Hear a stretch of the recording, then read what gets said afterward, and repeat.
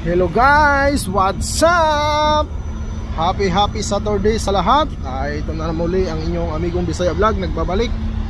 Ah, Saturday ngayon guys. Ah, Actually, wala tayong pasok ngayon. Sabado at Linggo. Yun yung pinirmahan na kontrata ko. Pero, pinapasok kami ngayon. Overtime yun, tawag. Kasi may mga products na kailangan tapusin no? So, pumasok kami ngayon.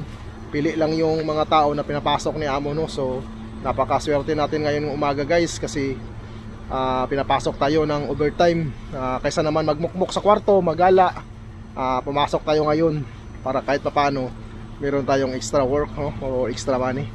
So maligamgam na tubig lang guys. Wala akong kape kaya tubig lang muna tayo no? Good morning good morning. Yeah ka ah yeah tukon.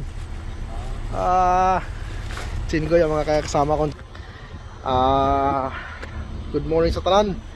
Kumusta kayo dyan guys? Uh, ngayong araw pala guys uh, yung nakaraan pumasok ako ng Saturday no? So ang binigay sa akin ng amo uh, ngayong araw uh, 175,000 won.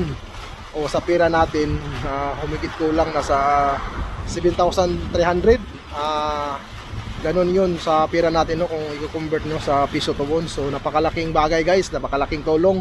Uh, kalain mo nagtatrabaho lang ako ngayon ng isang araw ng Sabado. At bukas ulit meron ulit akong linggo no. So panggabi ako bukas. So isang araw na overtime dito. Uh, binigyan tayo ng 7,000 plus. So di mo mahanap sa Pinas yun. Isang araw magtatrabaho mo. 7,000 kaya napaka busy guys. Ang isa kong katulad ng mga EPS worker dito sa South Korea kaya sa mga aspirant dyan study study na meron ng papalit, papalapit na exam